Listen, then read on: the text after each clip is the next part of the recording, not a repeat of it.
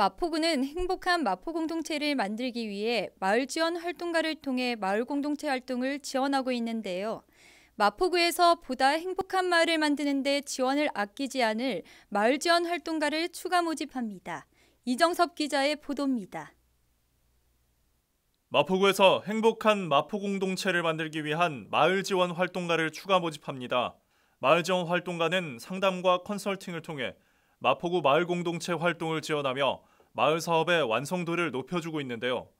모집 기간은 오는 25일까지로 마포구 홈페이지에서 신청서를 내려받아 작성한 후 이메일로 접수하면 됩니다. 서류 심사와 면접 심사를 통해 선발된 마을 지원 활동가는 찾아가는 상담, 워크숍, 정책 건의 등 지속적인 네트워크 활동을 통해 지역 발전에 기여할 예정입니다. 마을 지원 활동가에 대한 궁금한 사항은 마포구 자치행정과에서 자세하게 안내받을 수 있습니다. 마포투데이 이정섭입니다.